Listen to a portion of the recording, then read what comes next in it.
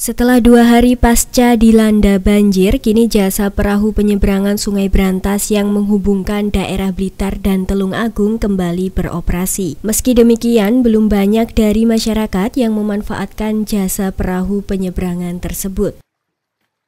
Enam jasa perahu penyeberangan Sungai Brantas yang ada di wilayah Kecamatan Serengat menghubungkan daerah Blitar dan Telung Agung hari ini kembali dibuka setelah sebelumnya selama dua hari berhenti beroperasi akibat meluapnya aliran sungai tersebut. Pemilik jasa penyeberangan mengaku nekat beroperasi karena kondisi air Sungai Brantas sudah surut. Meski begitu, masih belum banyak dari masyarakat yang memanfaatkan jasa perahu penyeberangan.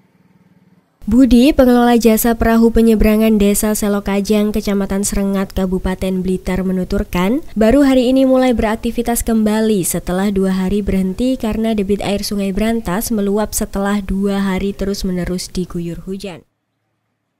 Masih, ya sudah hari ini tadi. Jam, Pagi ini, Pak. Ya, jam yang lalu. Artinya tidak beroperasi berapa hari, Pak? Dua hari. Dua hari, Pak ya? ya? Dua hari ya. Dua hari. Istiwa itu air sampai seberapa, Pak? Tingginya Pak?